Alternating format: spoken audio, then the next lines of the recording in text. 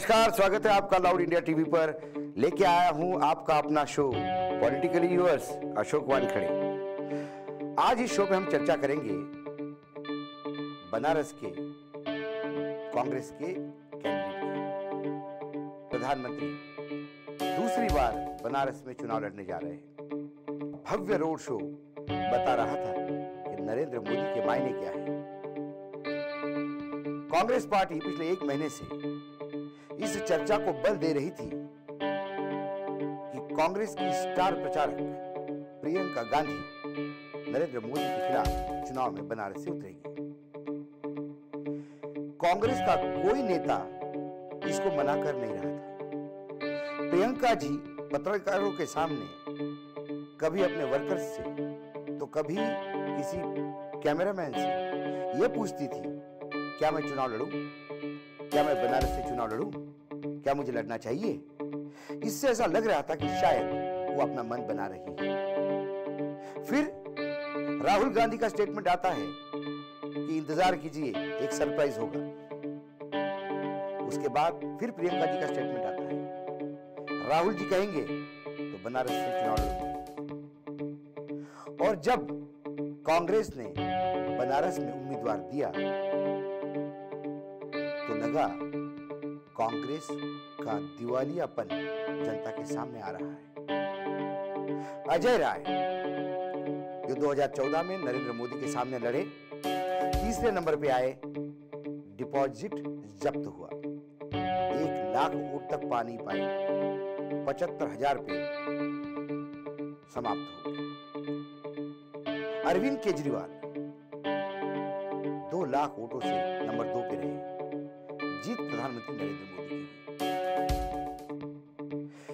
कांग्रेस ने प्रियंका का नाम क्यों चलाया ये समझ के परे है। क्योंकि नाम चलाने के बाद आप जब लड़ते नहीं हैं तो आपकी जग हसाई होती है। दूसरी बात, कांग्रेस में ये डबल स्टैंडर्ड कब से होने लगे? मध्य प्रदेश, छत्तीसगढ़, राजस्थान में जब विधानसभा चुनाव थे तो राहुल गांधी ने एक स्टैंड लिया था कि चुनाव इतने सीरियसली लड़ेंगे। मुख्यमंत्री के सामने भी ऐसा उम्मीदवार देंगे कि मुख्यमंत्री को भी चुनाव जीतने में आसानी नहीं रहेगी छत्तीसगढ़ से डॉक्टर रमन सिंह के खिलाफ करुणा शुक्ला को अटल बिहारी वाजपेयी की भतीजी, बीजेपी की बड़ी नेता जो कांग्रेस में आई, उनका एक कद है, उनका एक वजूद है। जब उनको डॉक्टर रमन सिंह के सामने उतारा तो लग रहा था कि यह टफ फाइट होगी। रमन सिंह भी सोचने लगे, कहीं चुनाव तो नहीं हार जाऊँ? और लगा कि कांग्रेस वाकई बहुत सीरियसली चुनाव लड़ रही है। बात करते मध्य प्रदेश की। मध्य प्रदेश में अरुण यादव कांग्रेस के मध्य प्रदेश के अध्यक्ष थे।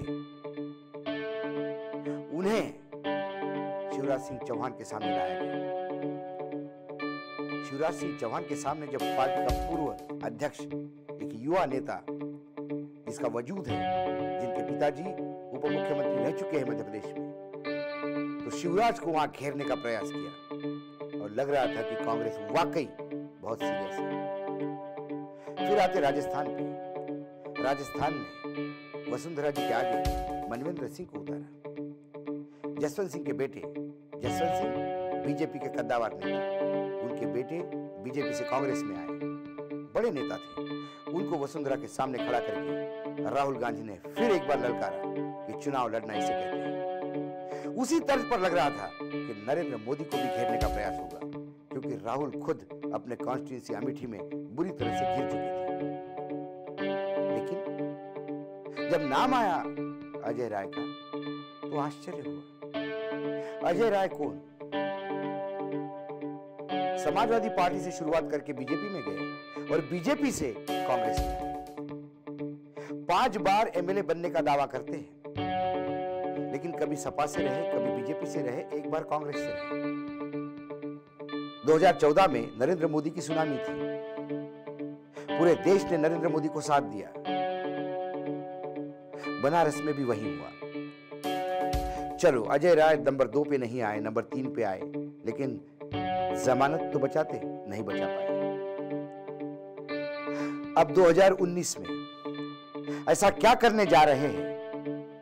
कि वो नरेंद्र मोदी को हराने की बात कर रहे हैं। इनकम्बेंसी है। राज्य सरकार की है, केंद्र सरकार की है। लेकिन उस इनकम्बेंसी को भुनाने के लिए सामने यदि दमदार व्यक्ति हो तो मतदाता सोचे कि मैं किसको वोट दू यदि नरेंद्र मोदी को नहीं तो अजय राय सामने इस अजय राय की एक बहुत बड़ी उपलब्धि और है। 2017 में जब उत्तर प्रदेश में विधानसभा के चुनाव हुए तो ये विधायक बनने के लिए चुनाव लड़े, वहाँ पे भी तीसरे नंबर पे आए। जो आदमी विधानसभा का चुनाव नहीं जीत सकता, वहाँ तीसरे नंबर पे आता है। वो नरेंद्र मोदी को टक्कर देने के लिए आप जब बनारस से उतारा तो कांग्रेस के बारे में पूरे उत्तर प्रदेश की नहीं, पूरे देश की जनता क्या सोचेगी, ये आप अच्छी तरह से जान सकते कांग्रेस को एक आदत है। वो हमेशा अपनी जगहसाई करती है।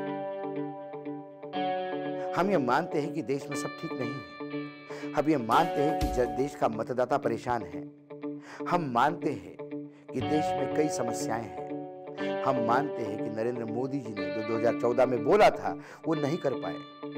ये सारी स्थितियाँ सामने होते हुए भी जब मतदाता पूछता है, मोदी नहीं तो और कौन? तो वाकई अब सवाल राजनीतिक विश्लेषकों को भी पढ़ने लगा है। मेरे जैसा भी आदमी सोचने लगा है कि वाकई मोदी कैसे भी हो, लेकिन मोदी नहीं तो कौन? क्योंकि सामने जो दिखाई देते हैं, वो ये वही है कि प्रियंका का नाम लेकर अजय राय को लड़ाई में उतारते हैं। आज बस इतना ही। और खबरों के लिए देखते रहिएगा लाउड इंडिया टीवी।